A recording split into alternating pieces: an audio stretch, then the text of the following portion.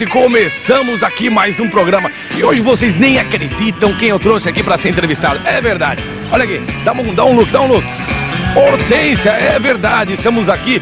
Vamos falar o nome dela inteiro. Hortência de Fátima Marcari Oliva, 35 anos. Pô, dispensa apresentações.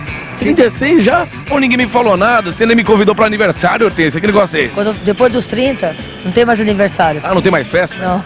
Ó, todo mundo tá sabendo que a, a Hortência tá grávida, né? Largou basquete faz pouco tempo. Tá grávida, seis meses. é, vou fazer seis meses. Ah, todo mundo tá querendo saber. Vai ser menino ou menina? João Vitor, homem. O João Vitor. Vai levar o nome do pai? Não, o meu marido é José Vitor. José Vitor. Pra não ficar José Vitor Oliva Neto, então eu peguei e falei, então vamos botar João Vitor. Pelo menos o Vitor tem do pai. Vitor tem. Já sabe o nome inteiro qual que vai ser? Jo- João Vitor Marcário Oliva. Marcário Oliva, tá certo. Bom, Olivia, ô, ô, ô, Hortência, aqui um grande prazer ter você aqui no canal do Esporte, um programa que passa em Campo Grande e todo o Mato Grosso do Sul. Ah, eu queria pegar aquela coisa de saber como é que você começou no basquete e tudo. Eu sei que é uma chateação, todo mundo odeia falar disso, mas quando é que você realmente começou? Você saiu de Portirandaba. É. Ei, saudade de Portirandaba. Mas isso- Você sabe que eu tomei um susto agora com ele? Ele é tão calmo, veio aqui, chegou aqui no ginásio calminho pra conversar comigo. De repente ele foi abrir a matéria, começou a falar rápido. Falei, que isso? Não, mas tem que ser, né? Você sabe que todo mundo. Ele é nada disso não, viu? ele é calminho, fala de manso. Nossa, começou lá, amigos do, do canal do esporte. Eu falei, credo, que é isso? Bom, eu comecei, eu acho que desde que eu nasci eu já, já vim pra ser um atleta, um esportista, né? Eu já tava no meu sangue ser, ser competitiva, né? Eu adoro competição, adoro é, brincar, adoro competir. Então, eu- desde que eu nasci, eu tenho isso na minha, na- nas minhas veias, né? E quando eu comecei a, a praticar o esporte, que foi na escola, na, na quinta série do ginásio, eu aprendi a jogar handball, aprendi a fazer atletismo, na- eh, aprendi nadar, aprendi a nadar no rio, aprendi voleibol, aprendi basquete. Tudo isso em Portirandaba. Não, não. Eu, eu nasci em Potirendaba, eu vivi lá até dois anos de idade. Depois eu fui para São José do Rio Preto. Quando eu tinha nove anos de idade, eu vim para São Paulo. Daí eu comecei a praticar esporte em São Paulo, Santo André, né, no ABC. Aí eu comecei a jogar, a praticar esses esportes. Aí eu tinha que escolher um, porque não dava pra fazer todos de uma vez só, né? Então tinha Olimpíadas colegiais, que aliás é uma coisa fantástica. A gente deveria voltar esse negócio de Olimpíada colegial. E eu tive que escolher um, um esporte. Então, é claro que o basquete foi uma coisa que eu acho mais emocionante, mais empolgante. é, o contato, aquela coisa me atraiu muito mais. Então eu escolhi o basquete. Isso com quantos anos você começou pra valer no basquete? Ou, ou, tipo assim, teve uma seleção já que te pegou? Não, Hortência, vem aqui que você vai fazer parte da minha seleção. Isso foi em São Caetano do Sul. Isso foi na escola, na escola. Eu, eu comecei a fazer parte. Eu jogava muito bem handball. Aí eles falaram assim, poxa, você dá pra jogar basquete. E começaram a me ensinar a jogar basquete e já entrei na escola do colégio, na, na- na equipe do colégio para disputar a Olimpíada. Aí eu, do primeiro dia que a professora me deu a bola de basquete na minha mão, daí dois anos eu já estava titular da seleção brasileira. Aí 18 anos vestindo a camisa da seleção e 22 anos, 20 e poucos anos de jogadora de basquete. Fala pra todo mundo aí os seus títulos, porque olha, eu tenho aqui na minha mão, tem um papel aqui, é brincadeira isso aqui. Se eu for ficar falando, eu vou me perder na leitura. Então é mais fácil você falar os seus títulos aí pra moçada que não sabe tudo que a Hortência tem de conquista. Olha, é, daqui da América eu tenho todos. É, paulista, abertos, pan- é, sul-americano, pan-americano. E é, tem um título mundial que para mim é o mais importante. É, fui eleita a melhor jogadora da América, esporte amador, não é só de jogadora de basquete, mas Uma das cinco melhores do mundo. é, e, e nesse último campeonato mundial fiquei entre as cinco melhores jogadores do mundo. Já tive vários títulos, tal, mas eu acho que o mais importante de todos, eu acho que foi o título mundial que nós ganhamos o ano passado em, é, na Austrália. Olha só, aqui, aqui, aqui comigo, olha só. A Hortência foi 14 vezes campeã paulista, certo? Certo. Bicampeão sul-americano. Deve estar certo. Não, tá, tá aqui no papel, aqui ó, tá escrito aqui. Bicampeão, ó, 14 vezes É campeã que, esse- é paulista. que esse currículo aqui, ele foi feito de 80 pra cá. E eu comecei a jogar basquete em 74. Então eu preciso fazer o meu currículo de, de 74 até 80, que eu não- não, Meu, tá faltando coisa ainda. Tá faltando coisa, mas isso aí é. é- o mais importante pra mim foi o, o de Mundial. E tenho, eu sou, na verdade, eu sou quatro vezes campeã do mundo. É, três de clubes e uma de seleções.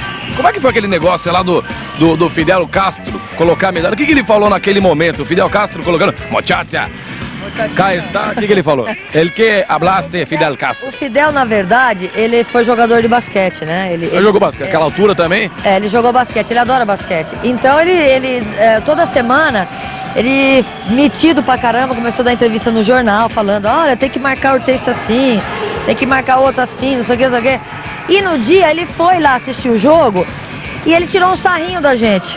Antes de começar a partida. Ele foi lá, brincou com a Maria Helena e tal. E depois que nós ganhamos, ele veio colocar medalha, como ele faz, fazia com todos os esportes que ganhavam medalha de ouro.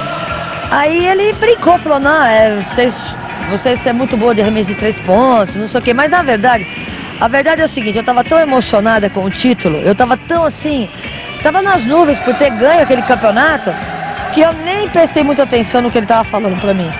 Eu estava assim tão emocionada. E a emoção de vê-lo ali na frente também é muito grande, porque ele é um. Ele é um. Figurão, né? Ele é um líder que, que você chega perto dele, você. Ele tem 1,90m, eu acho, ele é super alto. Você olha para ele, parece que ele tem 5 metros, quer dizer, ele, ele se engrandece muito, quer dizer, ele é fantástico. Eu, nós estávamos assistindo um jogo um dia antes, ele foi assistir também. Que ele ia sempre no, no estádio. E de repente escutei um barulho, um uma agitação. Falei, nossa, que é isso? Era ele que estava entrando no ginásio. E o pessoal que estava do lado chorava de emoção de ver o cara entrando. Então, eu, eu fiquei impressionado de ver o carinho que o, o povo de Cuba tem por ele. E você acaba também. Fica, fica meio emocionado até. É, ele é fantástico. eu vou pedir um, um pequeno intervalo comercial. Daqui a pouquinho a gente volta para falar sobre essa sua nova atividade agora como manager. É manager? É, manager. Manager. Eu até, eu até, eu até tava pensando, pô, mas técnico já tem o Vendramini. Ela, ela, tá, ela fala acima do Vendramini, é isso mesmo? É, eu, eu praticamente sou a diretora da equipe, né? Então, é, é, a gente se divide em vários setores. O Vendramini é aquele que, que cuida da equipe dentro da quadra. E eu cuido... Você cuida do Vendramini? Fora da quadra. Não, não precisa. Ele é... Já conheço ele há muitos anos, eu sei que não preciso ficar cuidando dele. Bom, então daqui a pouquinho, depois do intervalo comercial, você vai saber tudo sobre a nova vida da Hortência. É daqui a pouquinho a gente tá voltando.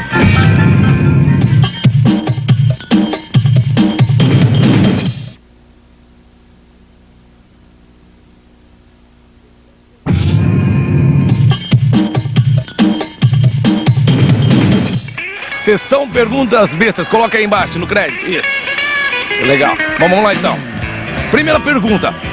Pergunto, você pensa algum dia voltar a jogar? Não. Já tinha visto isso na TV, não sei, por isso que é uma pergunta é, besta. É, é, quem perguntou? Já, já quer perguntar. É. Exatamente. Bom, que time que você torce? Time de futebol? Corinthians, Paulista, campeão paulista.